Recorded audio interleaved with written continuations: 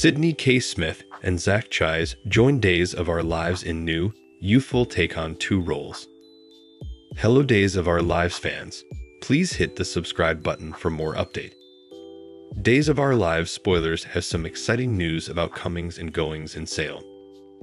Tina Huang will be returning as Melinda Trask, who will have to deal with Sloan Peterson Brady's motherhood woes once again.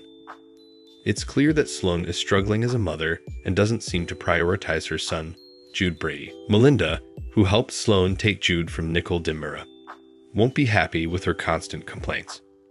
Sloan will have to face the consequences of her actions.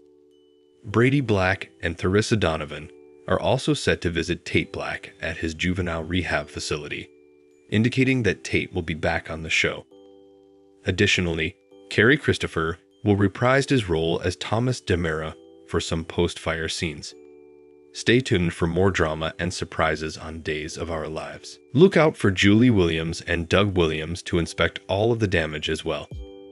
In addition, we have some exciting news about new actors who will be portraying younger versions of familiar faces on Days of Our Lives. Julie will educate Leo Stark on the Horton family history, revealing the love story between Tom and Alice Horton. Sydney K. Smith will debut as young Alice on February 21, and Zach Chies will make his first appearance as young Tom. Viewers can look forward to seeing flashbacks that showcase the strong bond between Tom and Alice in their early years. Stay tuned for a romantic picnic that highlights the connection between Alice and Tom.